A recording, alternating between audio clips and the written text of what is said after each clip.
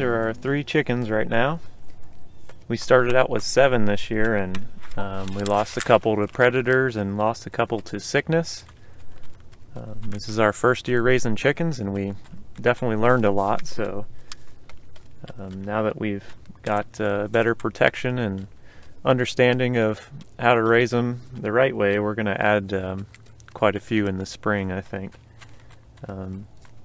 But uh, they're, they're beautiful birds. We'd like a mixed flock just to um, watch them. So we have a, a bantam there, and um, then we have a Columbian Wyandotte as the white one in the back, and um, a golden lace um, here in the front.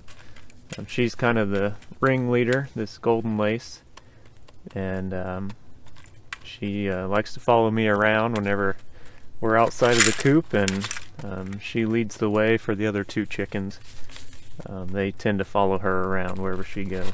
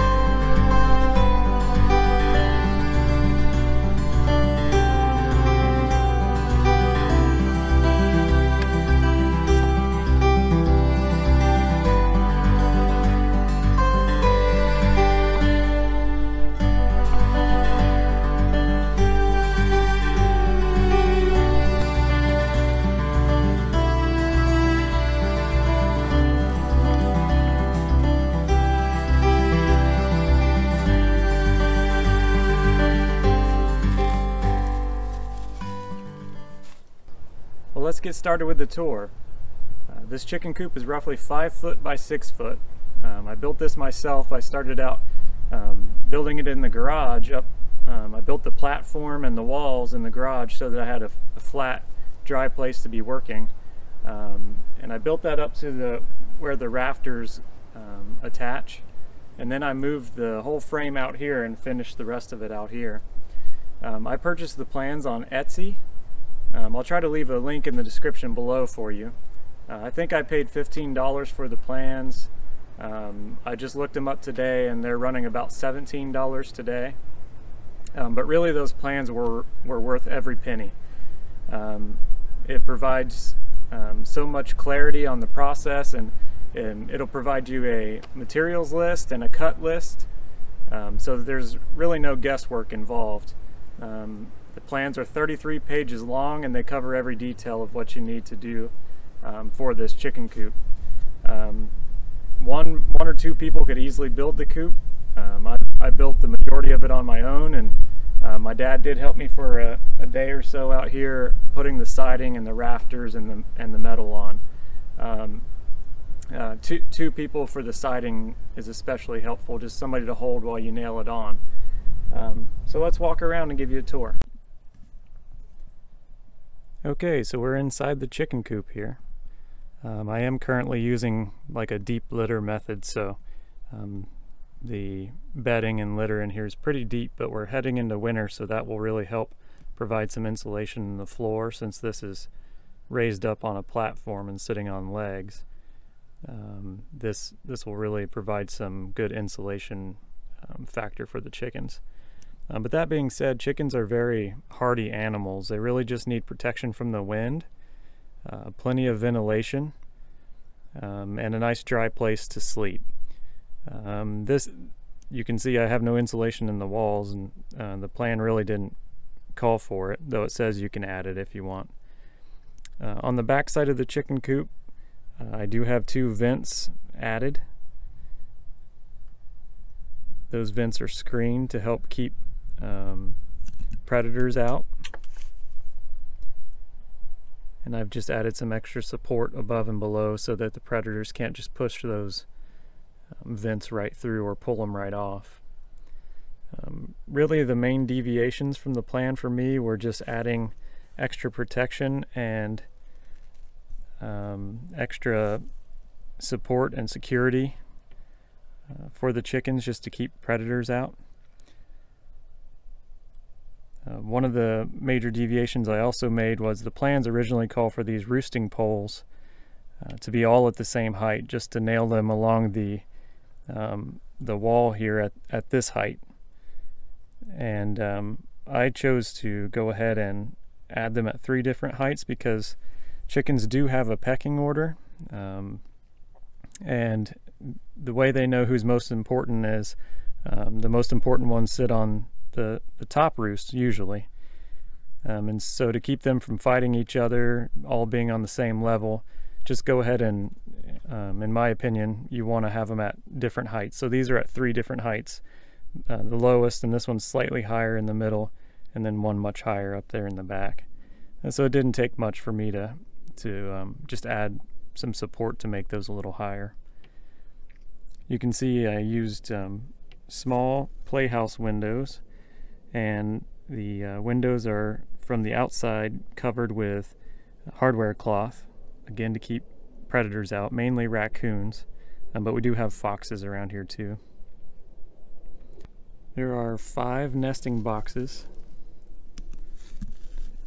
in the plans but as I read online and everyone seemed to be correct is they really will all fight over one box or all use one box and they really like this um, one right here in the corner for whatever reason. Um, I think uh, the eggs are almost always in that box.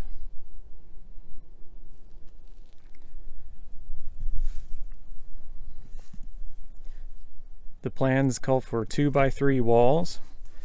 Um, I built this mostly out of reclaimed materials and um, we had ripped off an old porch off the front of our house when we were remodeling the exterior and I took those 2 by 6s from the porch decking and um, supports and uh, framing and I ripped that down um, to make all my studs and rafters.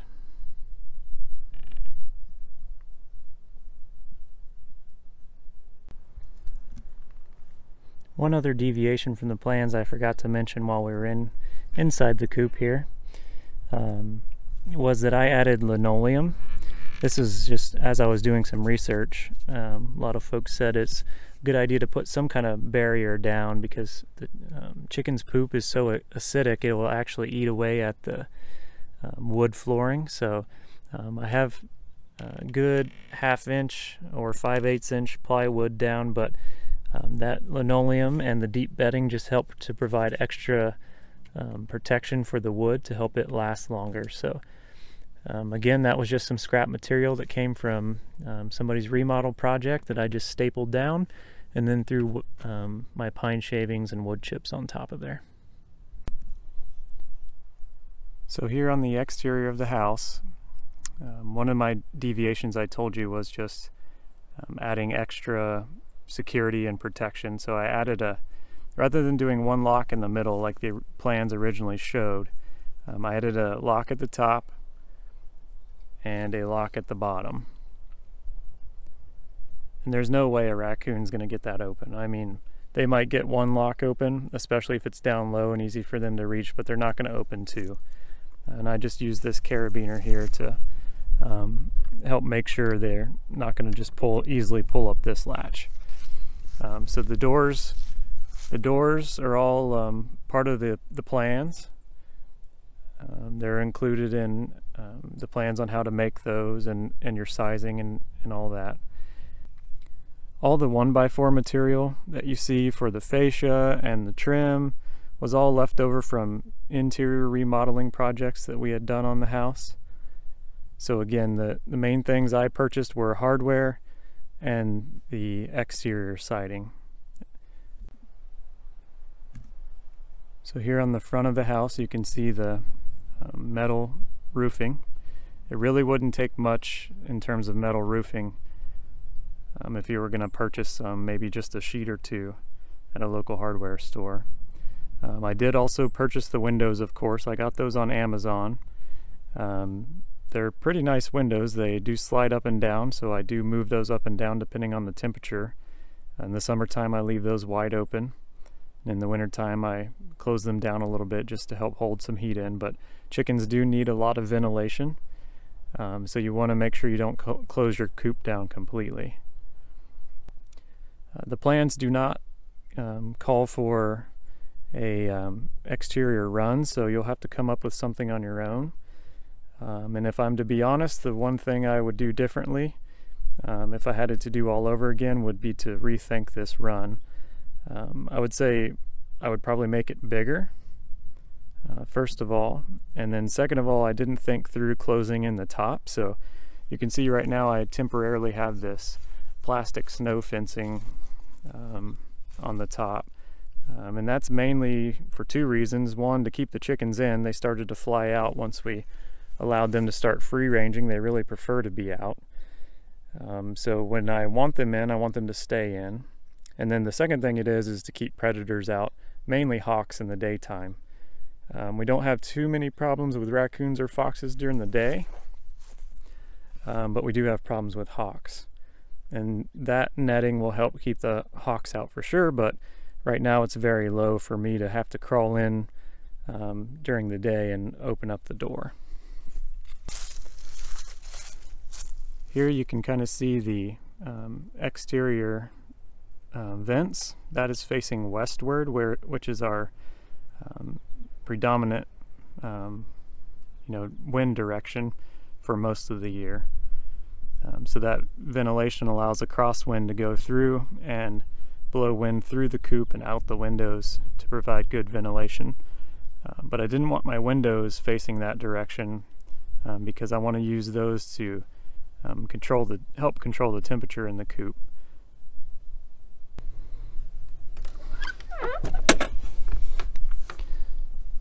So here's the exterior view of the nesting boxes. I just use pine shavings in mine. It doesn't seem to cause any issues. Um, like I said, there's five nesting boxes there, but they really only use one. Um, here's a close-up of the windows. Um, I framed in the hardware cloth just to provide some protection because in the summertime when and the springtime when those windows are open and the screens are the only thing between the chickens and a raccoon that won't be enough to stop a raccoon. So just a couple things I want to stress. Um, chickens don't need anything fancy. Um, I built this because it looks good it's solid it's gonna last a long time um, but you really don't have to overthink it. Um, like I was saying earlier if you can get the chickens out of the wind, keep them dry and safe and protected um, while they roost in the in the evenings and at night, that's really all they need. Um, uh, having those um, roosting poles at different heights really does help. Um, it's going to provide them, especially if you have multiple chickens. If you've got upwards of five or ten plus chickens, um, that pecking order becomes important. Um, the the only thing I really purchased for this particular coop um, was the um, exterior siding and the hardware like hinges, locks, screws, those types of things. Almost everything else on this chicken coop is built out of reclaimed or reused material. So I, I used um, reclaimed porch boards and framing for um, the studs and rafters. I used some leftover plywood for um, the roof uh, underneath the metal, although that didn't really even need to be there. I just provided it for um, just some extra support to, to screw my metal to. And the metal was also given to me. It came off of a, um, a barn teardown um, that somebody, a neighbor of my dad's had and was given um, to my dad and, and my dad gave to me to use. So um, I'm sure a lot of you have materials laying around that could be put to use. So before you just run out and buy what you need off the materials list, I would recommend looking around to see what you have. So the original plans called for a shingle roof, but the metal was available and free to me, so I chose to use that. Um, so I did deviate from the plan slightly in, in some of those aspects. So what was kind of funny about this coop was I was watching um, the series where Wranglerstar was building his um, chicken coop early on during the pandemic also, and I kind of liked the plans, but wasn't sure what it was I was going to build yet. I had been watching a lot of videos on YouTube to figure out what I wanted to build, and um, he didn't really mention the fact that he had um, where he had purchased the plans. And as I was doing my research online, I found the same plans um, on Etsy. So I'll share that with you in the description. Um, feel free to check those out if you want. Like I said, I, I personally think they're worth every penny. As somebody who's not a builder, I'm just a homeowner that wanted to do it myself. Um, I, I think those plans are are worth um, what what he's asking for them easily, and then some. You're going to save a lot of time, frustration, um, headaches, just trying to figure out what materials you need, and the spacing, and the sizing, and the cuts. Um, all that information's in those plans, and really is going to make it a lot easier on you. Um, if you don't use those plans, fine. Um, obviously, do whatever you want, but I would suggest drawing something up um, and, and sketching out um, what it is you want before you get started. So I hope you enjoyed the tour of the coop. I think that's about all we have time for today. Uh, if you have any questions about the coop, uh, leave those in the comments down below. Um, be sure to check out our other videos. Um, hit the thumbs up on this uh, video if you enjoyed this. Uh, make sure you go up and hit that subscribe button too. Thanks.